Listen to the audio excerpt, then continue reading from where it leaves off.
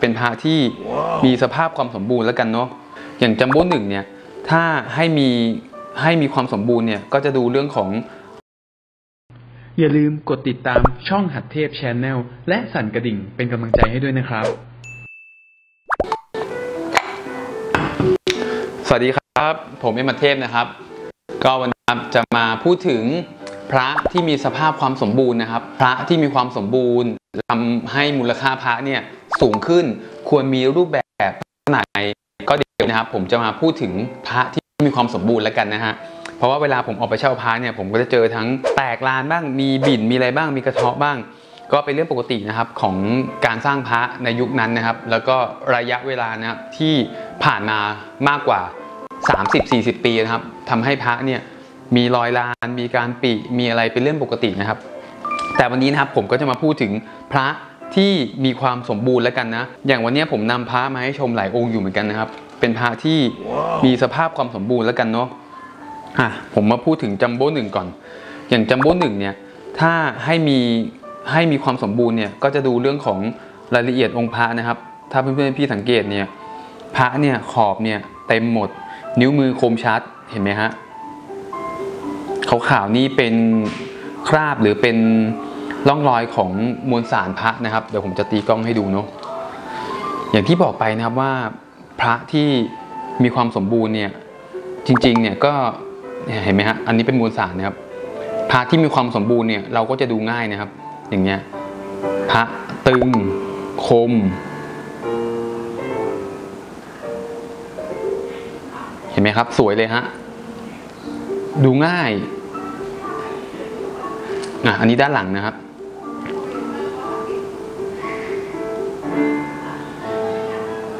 เห็นไหมครับ คือจะบอกว่าบางทีผมไปเช่าพระเนี่ย บางทีผมก็จะเจอพระที่มีความลานมีแตกมีลั่นบ้าง ผมก็พูดตามหน้าพระครับ คือ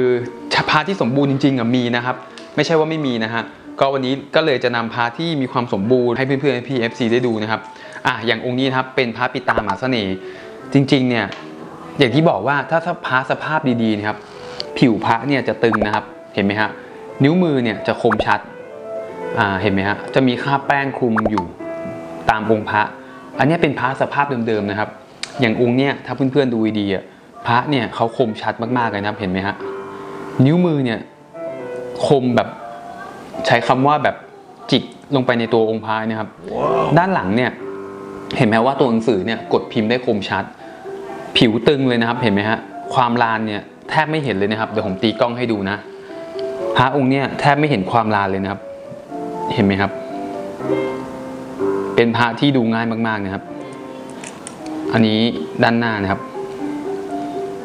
นิ้วมือเนี่ยคมชัดทุกนิ้วเลยเห็นไหมฮะ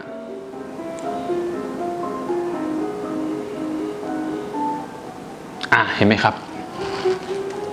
ถ้าสภาพแบบเนี้ยผมกล้าบอกเลยว่า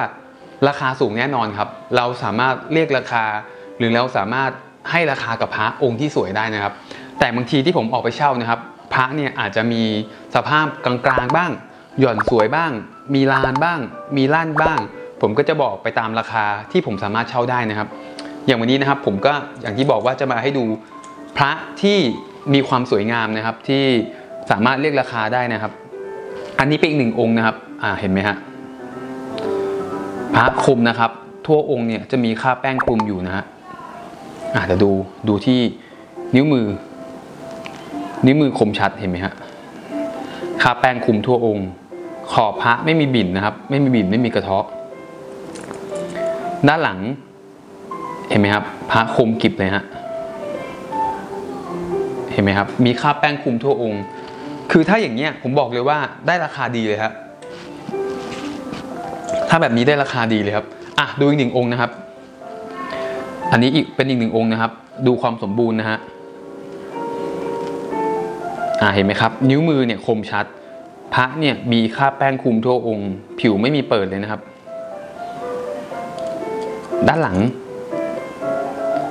ตัวหนังสือคมชัดนะครับ ถ้าเป็นแบบเนี้ยผมบอกก็เลยว่า ราคาเนี่ยสูงแน่นอนครับ เวลาเราไปเช่าเนี่ยแล้วถ้าเจ้าของพระมีพระสภาพแบบนี้นะครับ ผมบอกได้เลยว่า แบบเนี้ยผมเช่าแน่นอนครับพระไปเปลือยเนี่ยมีสามหมื่นมีสี่หมื่นต้องมีนะครับ ถ้าสวยจริงๆอะราคาเราสามารถคุยกันได้นะฮะเดี๋ยวมาดูปลดหนี้ยันนะนะครับปลดหนี้ยันนะเอาพระที่มีความเดิมนะครับ เป็นยันนะนะครับ เนื้อใบลานเดี๋ยวผมจะให้ดูความคมชัดนะครับ สังเกตไหมว่า นิ้วมือเนี่ย ทุกนิ้วเนี่ย เรียงตัวกันคมเลยครับเห็นไหมฮะใบหูคมชัด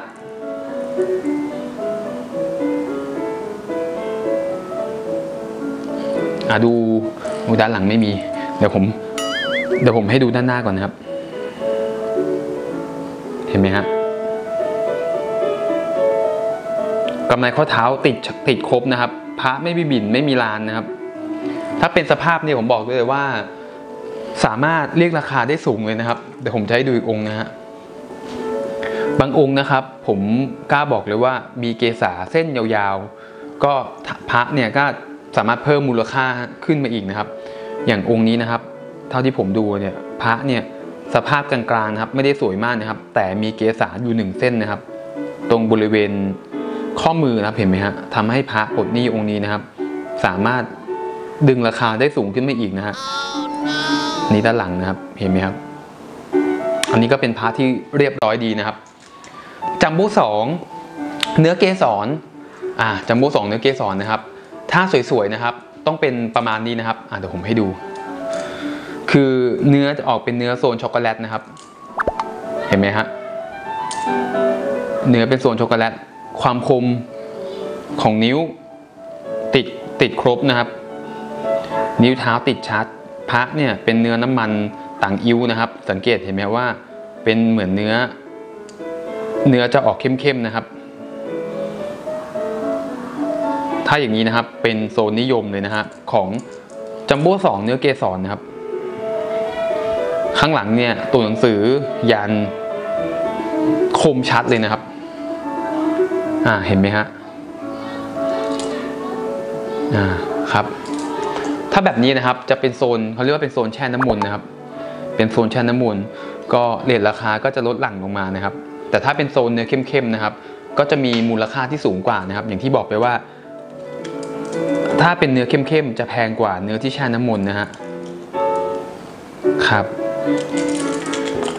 เดี๋ยวเรามาดูเป็น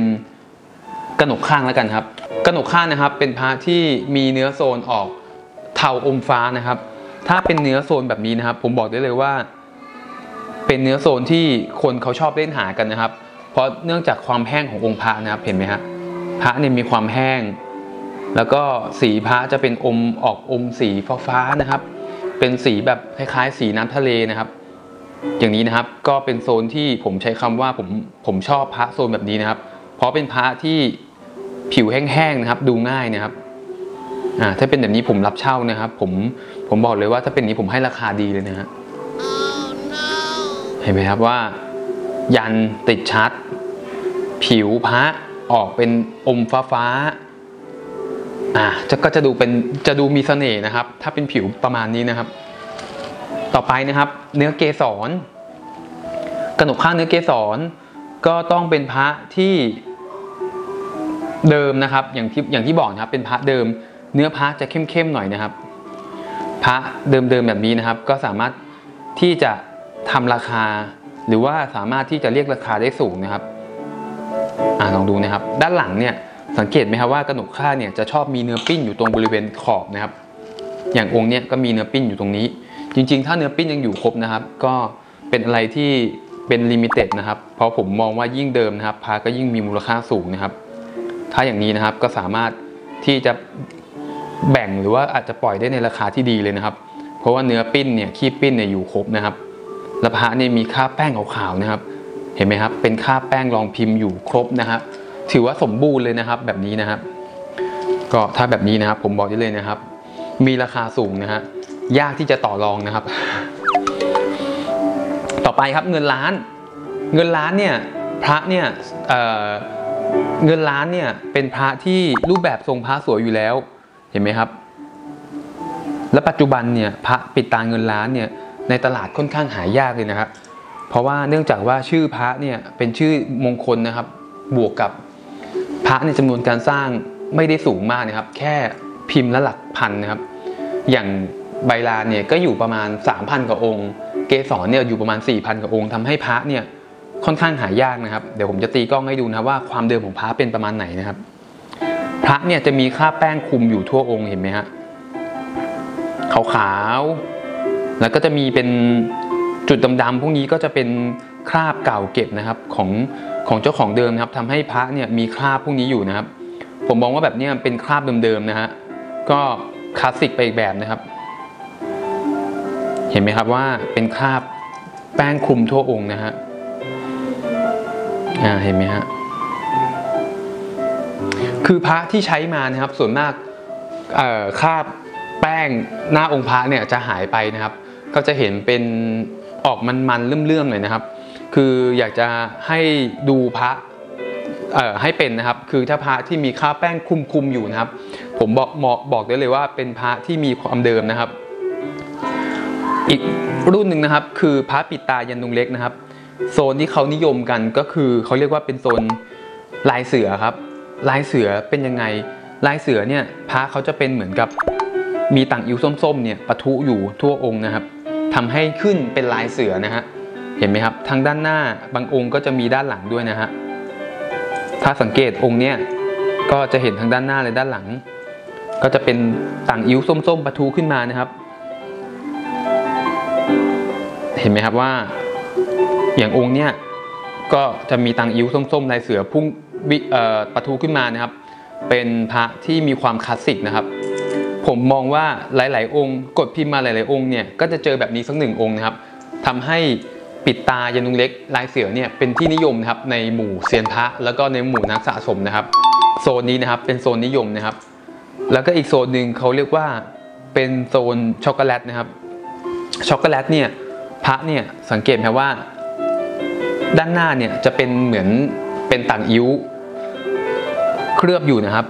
ทำให้สีเหมือนช็อกโกแลตนะครับทำให้เรียกว่าเป็นเนื้อโซนช็อกโกแลตนะครับ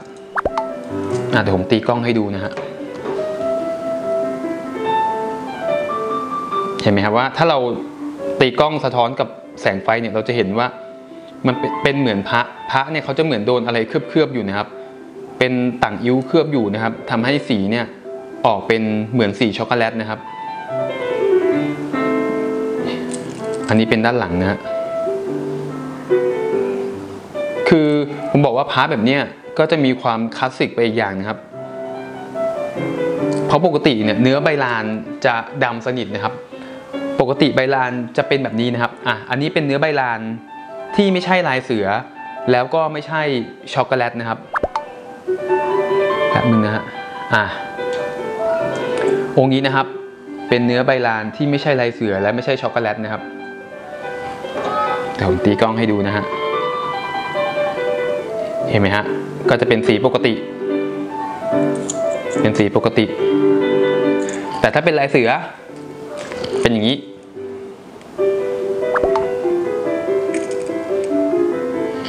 ช็อกโกแลต เป็นอย่างนี้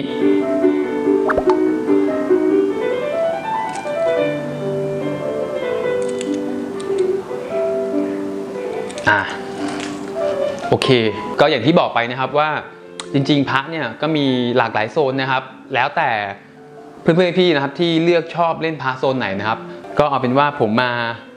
ไขข้อสงสัยนะครับ เรื่องของสภาพพระนะครับว่าแบบไหนที่เป็นพระเดิม แบบไหนที่เป็นพระสวย เพื่อจะได้ให้เป็นแนวทางให้เพื่อนๆพี่ FC ทุกท่านนะครับ ได้ศึกษานะครับแล้วได้สะสมพระนะครับอย่างถูกทางนะครับสำหรับในครั้งหน้านะครับ ผมจะมาแนะนำพระเครื่อง และมีวิธีการดูสภาพแบบไหนนะครับ ต้องฝากเพื่อนๆพี่ FC ทุกท่านนะครับ อย่าลืมกดติดตามนะครับ กดไลค์กดแชร์กด Subscribe นะครับ เพื่อที่จะไม่พลาดคอนเทนต์ดีๆอย่างนี้ครับสำหรับวันนี้ผมเอ็มมาเทพต้องขออนุญาตลาไปก่อนครับ สวัสดีครับ